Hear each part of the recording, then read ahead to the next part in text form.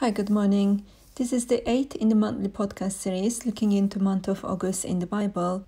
Lord to God in the highest, come Lord Jesus Christ. God put in my heart for me to talk to you about biblical days for each month and read out the Bible verses stating what happened on that day or in that particular month in the Bible. Before we start, I would like to give introduction to Hebrew calendar. According to Hebrew calendar, we are now in the sixth millennium. Bible says, But beloved, do not forget this one thing, that with the Lord one day is as a thousand years, and a thousand years as one day. 2 Peter chapter 3 verse 8.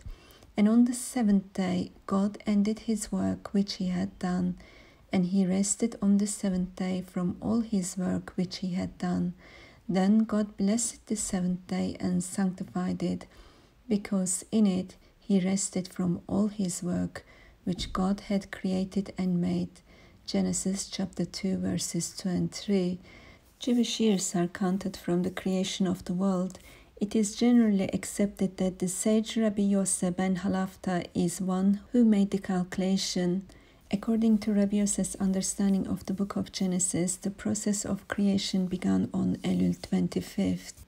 And the Hebrew year count starts in year 3761 BCE which the 12th century Jewish philosopher Maimonides established as the biblical date of creation.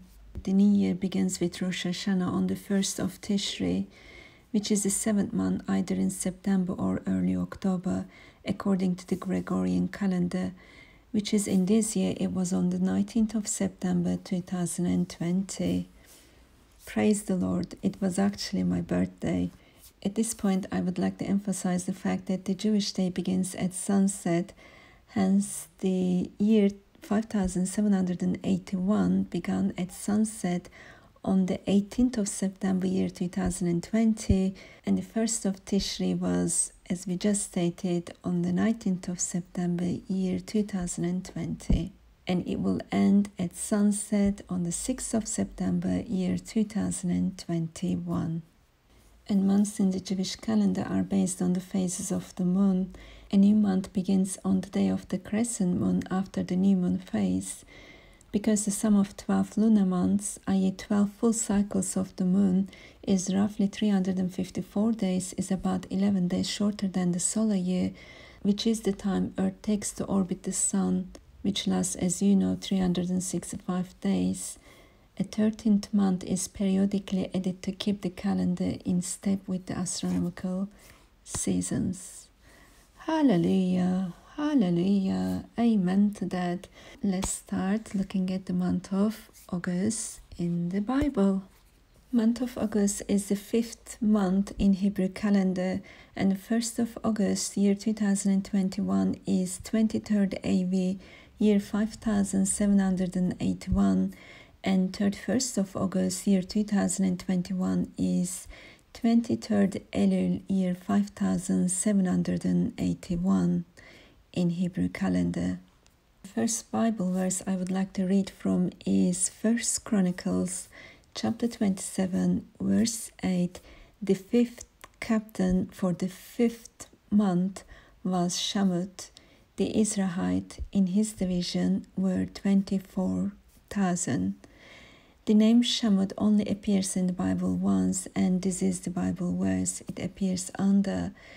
And the meaning in Hebrew is desolation, destruction, renowned shatter, because it comes from the verb shamam, to be desolate or appalled, and from the verb hat, to shout at, and noun shem, name or fame. He is believed to be descendant of Zerah, which, when we read Izrahite, is believed to be referring to Zerah, as you know from the book of Genesis regarding the birth of Perez and Zerah, the sons of Judah from Tamar, which we have talked about extensively in our January podcast. Next Bible verse I would like to read from is Ezra chapter 7, verse 9 which reads On the first day of the first month he began his journey from Babylon, and on the first day of the fifth month he came to Jerusalem, according to the good hand of his God upon him. as you know from Ezra chapter 1, verse 1. Now, in the first year of Cyrus, king of Persia, that the word of the Lord by the mouth of Jeremiah might be fulfilled, the Lord stirred up the spirit of Cyrus, king of Persia, so that he made a proclamation throughout all his kingdom, and also put it in writing, saying, Thus says Cyrus, king of Persia, all the kingdoms of the earth the Lord God of heavens has given me, and he has commanded me to build him a house at Jerusalem, which is in Judah. Who is among you of all his people, may his God be with him, and let him go up to Jerusalem, which is in Judah, and build the house of the Lord God of Israel. He is God, which is in Jerusalem. And whoever is left in any place where he dwells, let the man of his place help him with silver and gold, with goods and livestock, besides the freewill offerings for the house of God which is in Jerusalem. Then the heads of the fathers' houses of Judah and Benjamin, and the priests and the Levites, with all whose spirits God had moved, arose to go up and build the house of the Lord which is in Jerusalem. Hence we see Ezra traveling from first day of the first month. Bible says he began his journey from Babylon, and on the first day of the fifth month he came to Jerusalem. This was the end of the Babylonian captivity, as King Cyrus captured Babylon in year 539 BC, and Babylonia became part of the Persian Empire. Ezra was among the priests who returned back to Jerusalem to build the house of God in Jerusalem in Judah. Bible says in chapter 7 verse 10 for Ezra had prepared his heart to seek the law of the Lord and to do it and to teach statutes and ordinances in Israel. Hallelujah, hallelujah, amen to that. Next Bible verse is from Ezekiel chapter 8 as you know from our July podcast, Ezekiel was among the captives who was taken into exile after the first besiege of Jerusalem by King Nebuchadnezzar, king of Babylonia.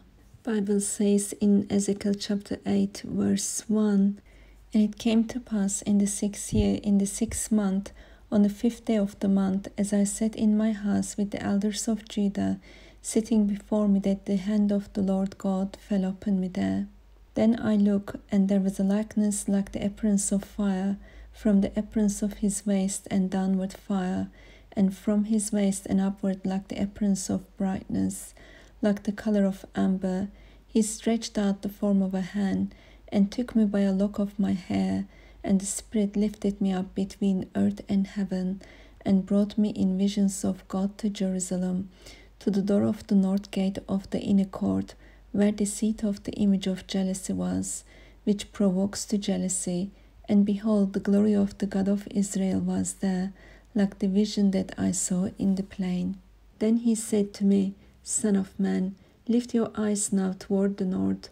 So I lifted my eyes toward the north, and there, north of the altar gate, was this image of jealousy in the entrance. Furthermore, he said to me, Son of man, do you see what they are doing? The great abominations that the house of Israel commits here, to make me go far away from my sanctuary. Now turn again, you will see greater abominations.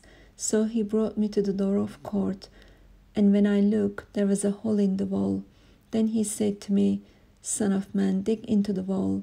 And when I dug into the wall, there was a door. And he said to me, Go in and see the wicked abominations which they are doing there. So I went in and saw, and there every sort of creeping thing, abominable beasts, and all the idols of the house of Israel, portrayed all around on the walls. And there stood before them seventy men of the elders of the house of Israel. And in their midst stood Jaazaniah the son of Shaphan. Each man had a censer in his hand, and a thick cloud of incense went up.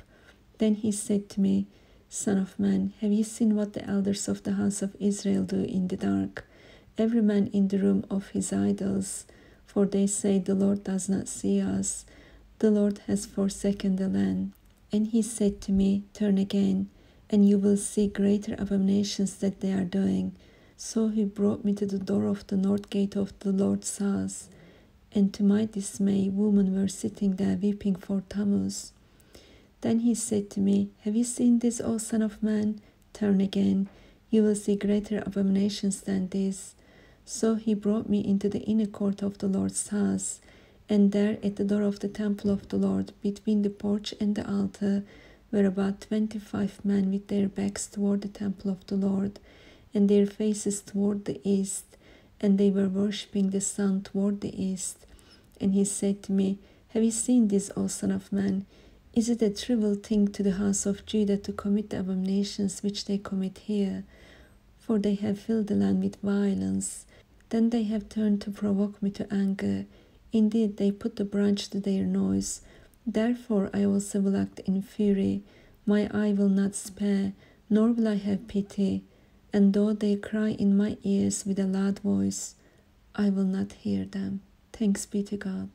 And day Ezekiel was given this vision by the Lord, the fifth day of the sixth month in this year is 13th of August 2021.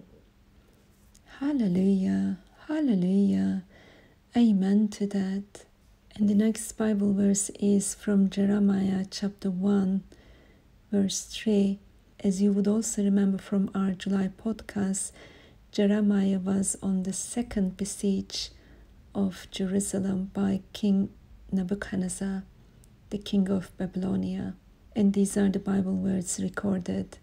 The words of Jeremiah, the son of Hilkiah of the priests, who were in Anathoth in the land of Benjamin, to whom the word of the Lord came in the days of Josiah, the son of Amon, king of Judah, in the thirteenth year of his reign. It came also in the days of Jehoiakim, the son of Josiah, king of Judah, until the carrying away of Jerusalem captive in the fifth month. Here we just read that they were taken away captive in the fifth month. I just would like to read in the same chapter, chapter 1, it continues the prophet is called. This is Jeremiah being called by the Lord to be his prophet. From verse 4 Then the word of the Lord came to me, saying, Before I formed you in the womb, I knew you. Before you were born, I sanctified you. I ordained you a prophet to the nations. Then said I, O Lord God, behold, I cannot speak, for I am a youth. But the Lord said to me, do not say, I am a youth, for you shall go to all to whom I send you, and whatever I command you, you shall speak. Do not be afraid of their faces, for I am with you to deliver you, says the Lord. Then the Lord put forth his hand and touched my mouth. And the Lord said to me, Behold, I have put my words in your mouth. See, I have this day set you over the nations and over the kingdoms to root out and to pull down, to destroy and to throw down, to build and to plant. Hallelujah! Hallelujah! Amen to that. What a call! Amen to that.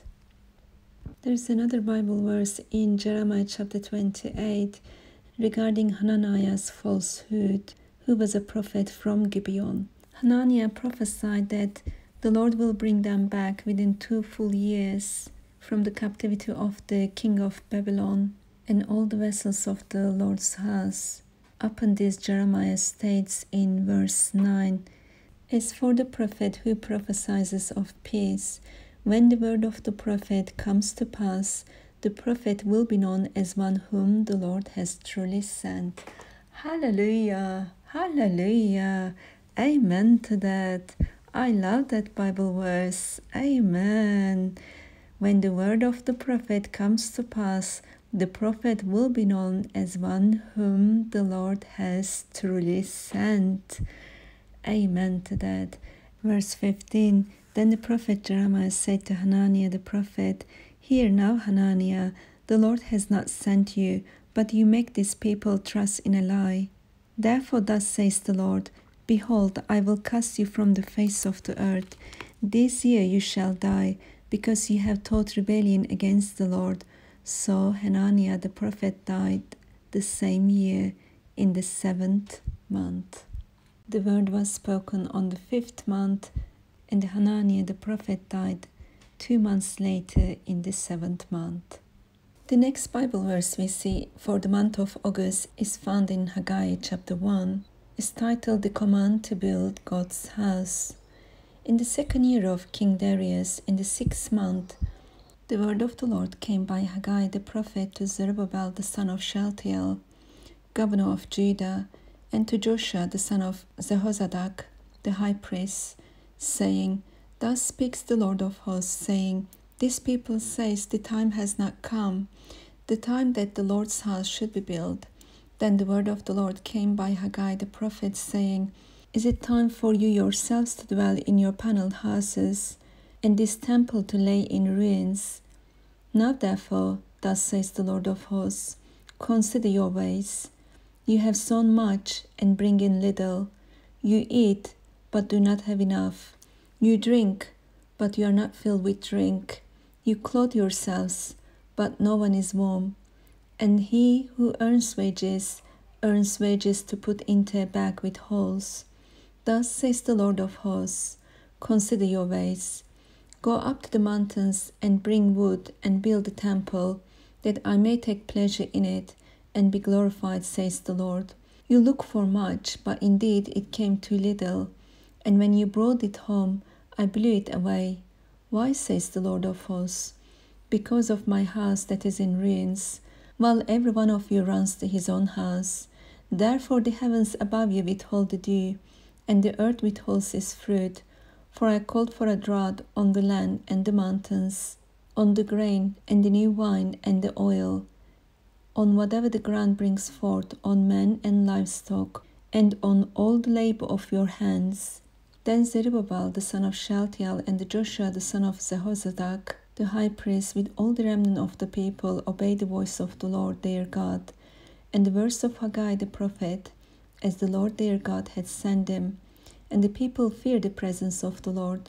Then the Haggai, the Lord's messenger, spoke the Lord's message to the people, saying, I am with you, says the Lord so the Lord stirred up the spirit of Zerubbabel the son of Shealtiel, governor of Judah, and the spirit of Joshua the son of Jehozadak, the high priest, and the spirit of all the remnant of the people. And they came and worked on the house of the Lord of hosts, their God, on the twenty fourth day of the sixth month, in the second year of King Darius. Hallelujah! Hallelujah! Amen to that. The word came to Haggai in the second year of King Darius, in the sixth month, on the first day of the month, for them to build the house of God. In this year is 9th of August 2021. At this point, I also would like to bring to your attention that King Darius is the son of King Cyrus the Great and the father of King Ahasuerus, Esther's husband. He is also believed to be Xerxes I. We have talked about King Ahasuerus extensively in our February podcast. If you would like to refer to it, that will be great. This word came to Haggai in the second year of King Darius, while the next Bible verse for the month of August from Zechariah chapter 7, verse 3, and it states, Now in the fourth year of King Darius, it came to pass that the word of the Lord came to Zechariah on the fourth day of the ninth month, Kislev, when the people sent Sherezer with Regem Melech and his men to the house of God to pray before the Lord and to ask the priests who were in the house of the Lord of hosts and the prophets, saying, Should I weep in the fifth month and fast as I have done for so many years? Then the word of the Lord of hosts came to me, saying, Say to all the people of the land, and to the priests, when you fasted and mourned in the fifth and seventh months, during those seventy years, did you really fast for me? For me? When you eat and when you drink, do you not eat and drink for yourselves? Should you not have obeyed the words which the Lord proclaimed through the former prophets? When Jerusalem and the cities around it were inhabited and prosperous, and the south and the lowland were inhabited. This word came to Zechariah two years later, in the fourth year of King Darius. And what God is saying here is that He wants obedience than fasting, for they have seen that the temple is about to be finished. And they asked the priests who were in the house of the Lords and the prophets whether they should be still continue to weep and fast as they have done during those 70 years when they were in captivity. And what God is saying is that those sort of fasts are not acceptable to God, which seem to be springing up from form of duty, rather than truthfully seeking the Lord and pleasing Him with obedience. God wants us to be obedient to His holy will over fasting and weeping. Let's be obedient to God at all times and seek His favor upon us and pray diligently, earnestly to our Heavenly Father, Lord Jesus Christ, for them to come upon us strong, for them to show themselves strong for us, upon us for their glory. For we are mere mortals down here. We live in a fallen world. We need our Heavenly Father and our brother, Lord Jesus Christ the King of all kings, the Lord of all lords, to be with us. He is the light of the world. He is the Son of God, God from God, light from light, our Lord Jesus Christ, who we need at all times in our lives, at every turn, at every second, at every point. For without the Lord, we are nothing. Without the Lord, we have nothing. Let's obey the Lord. Let's seek the Lord and invite Him to our hearts with earnest prayers for Him to guide us to His holy will, for Him to be with us at all times. Rest assured He is. Rest assured He lives His life in us, with us, through us. Our fasting and prayer should come before the Holy God in earnesty rather than out of duty. Let's seek the Lord with all our hearts, soul, minds, and strength Let's love the Lord with all our hearts, soul, mind, and strength forever and ever. In the name of Lord Jesus Christ. Amen.